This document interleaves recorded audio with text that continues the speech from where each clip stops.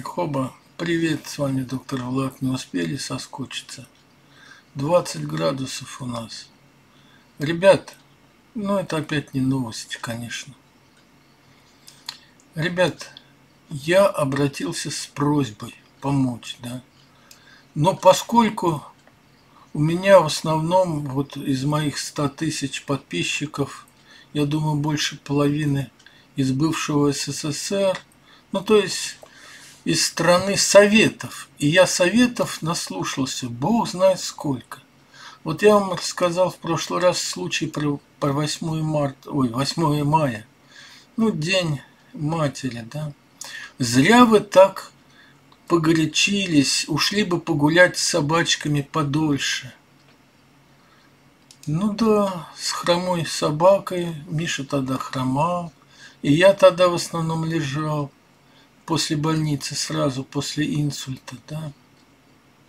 Но вот тут одна, ну я сказал на три часа, да, примерно. И вот э, пишет Людмила Груша, судя по фамилии, наверное, с Украины. Всего-то три часа взяли бы с собой еду и в парк или за город с перерывами на отдых для себя и собачек. Это же полезно и интересно. А то я не за, не за городом живу, да. Это все равно, как я бы посоветовал, ну не знаю, монголу какому-нибудь. Ну что, не получилось с женой, ну вот можно другую юрту построить и что-то такое прочее. Ребят, да ну не лезьте вы с советами, вы совершенно не понимаете, как у нас дела обстоят в Америке. Ну вот сейчас я буду больше говорить даже не для не, не для страны Советов, а для тех, кто недавно в Америке и еще не успел понять, как здесь дела делаются.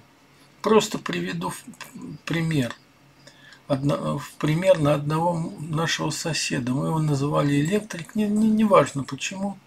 Ну, как-то его надо было назвать. А он один раз, когда был ураган, у нас не было света, а у него почему-то был. Как-то там странно оборвалось. И он нам протянул через дорогу удлинитель, ну наш удлинитель. Вот хотя бы для того, чтобы включить холодильник. Вот, ну, с тех пор мы его называли электрик. Вот он жил в доме больше, чем наш, побольше, наверное, четыре у него спальни было. Вот, один совершенно. Сколько ему лет было? Ну, где-то лет 80. Ну, наверное, я не знаю, дети разъехались, ну, может быть, жена умерла.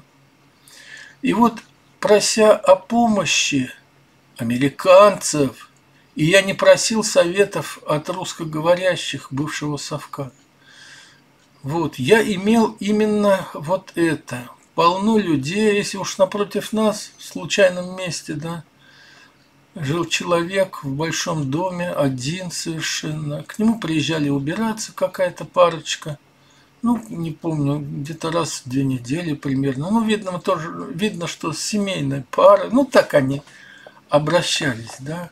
А вы, кстати, знаете, это анекдот, как в театральном училище попросили изобразить семейную пару в гостях, не говоря ни слова.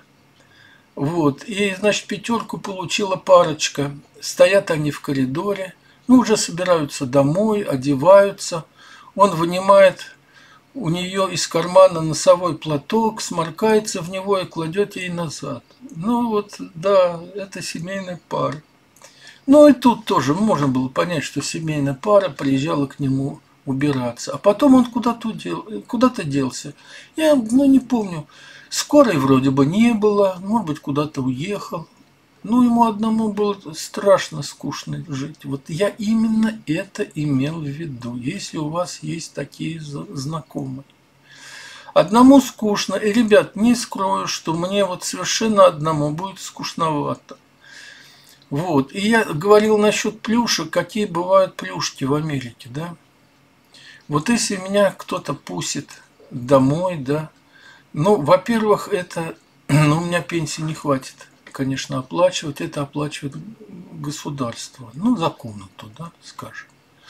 Вот, мало того, если человек, а, вот, или женщина еще более-менее себя бодро чувствует, ну, не ходит э, скажем, ну, ну, в смысле, ходит ромко, ровно, да, вот. И, в принципе, этот человек, вот те самые плюшки, он может еще получать денежку по уходу за мной, поскольку я считаюсь после инсульта, значит, мне требуется уход, понимаете? Вот. То есть вот я ищу примерно это, понимаете?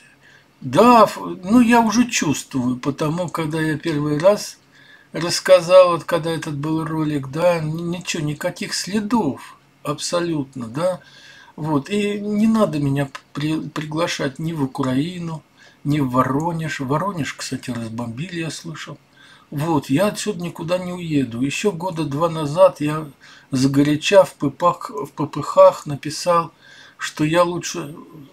Вот предложите мне миллионную квартиру в Москве, да, э, или э, коробку где-нибудь в Сан-Франциско для бездомных. Вот я буду жить в коробке, понимаете? Ну вот сейчас какие варианты? Я не знаю. Если вы мне никак помочь не можете, то есть у вас нет таких знакомых, вот, то, ну, не знаю, буду прорабатывать какие-то другие варианты, я не знаю. Но, ребята, пожелания счастья я воспринимаю с удовольствием.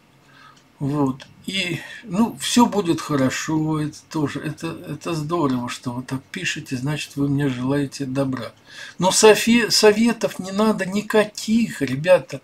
Спасибо за, за советы. Я же говорю, вы не будете советовать монголу. Вообще-то, да, советский человек будет советовать и монголу, и какому-нибудь северному, северному самоеду, или как их немцы там, нанайцы, да. Он будет и ему советовать, как лучше выкопать пещеру в снегу, иглу их, кажется, называется. Вот, да, ребят, я вас прошу, не надо. Я уже одного удалил, который посоветовал мне э, избавиться от собак. Если бы не было собак, конечно, было бы все гораздо проще.